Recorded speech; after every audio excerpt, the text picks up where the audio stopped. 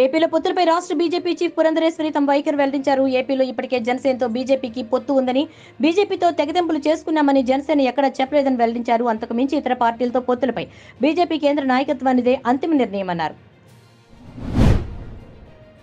రెండు వేల ఇరవై నాలుగు ఇరవై ఐదు బడ్జెట్ పై జేపీ నడ్డా స్పందించారు. దేశాన్ని అభివృద్ధి దిశగా తీసుకెళ్ళే దూరదృష్టితో ఈ బడ్జెట్ను రూపొందించారని బీజేపీ జాతీయ అధ్యక్షుడు జేపీ నడ్డా అన్నారు. బడ్జెట్లో ప్రకటించిన మధ్యతరగతి కోసం గృహ నిర్మాణ పథకం ఒక విప్లవాత్మక అడుగన్నారు.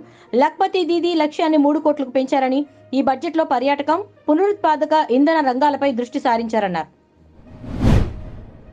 అంత్యోదయ పథకం కింద కేంద్రం ఎనభై ఒక్క కోట్ల మందికి ఉచిత రేషన్ ఇవ్వడం గొప్ప విషయమన్నారు. జనసేన నేత నాదెండ్ల మనోహర్ రెండు వేల ఇరవై తొమ్మిది వరకు పథకాన్ని పొడిగించడాన్ని అభినందిస్తున్నామన్నారు. విద్యుత్ బిల్లులపై కేంద్రం ప్రకటించిన సౌర విద్యుత్ మంచి పథకమని కొనియాడారు. మాజీ మంత్రి బీఆర్ఎస్ ఎమ్మెల్యే మల్లారెడ్డి ఆసక్తికర వ్యాఖ్యలు చేశారు. అసెంబ్లీ ఎన్నికల్లో కాంగ్రెస్ పార్టీ గెలుస్తుందని కల్లో కూడా ఊహించలేదన్నారు. కాంగ్రెస్ గెలిచిన షాక్ నుంచి తాము ఇంకా కోలుకోలేదన్నారు. నియోజకవర్గ అభివృద్ధి కోసం ముఖ్యమంత్రి రేవంత్ రెడ్డిని కలవడంలో తప్పు లేదన్నారు మల్లారెడ్డి. త్వరలోనే రేవంత్ కలుస్తానని గతంలో టీడీపీ ఇద్దరం కలిసే పనిచేశామన్నారు ఆయన్ని కలిసే ముందర సమాచారం ఇస్తామన్నారు.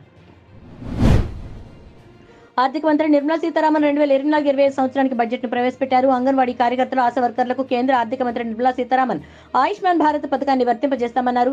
అంగన్వాడీ కార్యకర్తలకు ఆయుష్మాన్ భారత్ కింద హెల్త్ కేర్ కవరేజ్ని పొడిగిస్తున్నట్టు ప్రకటించింది. ఈ పథకంలో భాగంగా ఏడు వేల ఐదు వందల కోట్లు కేటాయించారు.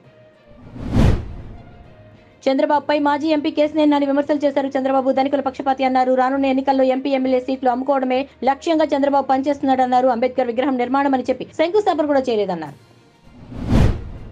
తెలంగాణ జనసమితి చైర్మన్ ప్రొఫెసర్ కోదండరాంకు ఎమ్మెల్సీ పదవి ఇస్తే బీఆర్ఎస్ నేతలు సహించలేకపోతున్నారన్నారు మంత్రి సీతక్క. తెలంగాణ కోసం పోరాడిన కోదండరాంకు పదవి ఇస్తే ఎందుకు విమర్శిస్తున్నారని ప్రశ్నించారు. బీఆర్ఎస్ ప్రభుత్వం తెలంగాణకు చేసిందేమీ లేదన్నారు. కేంద్ర ఆర్థిక మంత్రి నిర్మలా సీతారామన్ ప్రవేశపెట్టిన మధ్యంతర బడ్జెట్ పై ప్రధాని మోదీ స్పందించారు. రెండు వేల నలభై ఏడు నాటికి అభివృద్ధి చెందిన దేశంగా అవతరించేందుకు ఈ బడ్జెట్ గ్యారంటీ అని కొనియాడారు. ఈ బడ్జెట్ యువతకు ఎన్నో కొత్త కొత్త ఉపాధి అవకాశాలు కల్పనకు దారితీస్తాయన్నారు. ఈ దిశగా రెండు కీలక నిర్ణయాలు తీసుకున్నామని చెప్పారు. పరిశోధన ఆవిష్కరణల కోసం లక్ష కోట్ల నిధిని ఏర్పాటు చేయడం స్టార్టప్లకు పన్ను మినహాయింపును పెంచడం జరిగిందన్నారు. ఒక జిల్లా ఒక ఉత్పత్తి అంశంతో ఏపీ ఆరు అవార్డులను సొంతం చేసుకుంది ఉప్పాడ జందాని చీరలు అరకు కాఫీ బంగారు పథకం పొందూరు కాటన్ కోడుమూరు గద్వాల్ చీరలకు కాంస్య పథకం మదనపల్లె పట్టు మంగళగిరి చేనేత చీరలకు ప్రత్యేక జ్యూరీ అవార్డులు లభించాయి. ఈ నేపథ్యంలో అధికారులను సీఎం జగన్ అభినందించారు.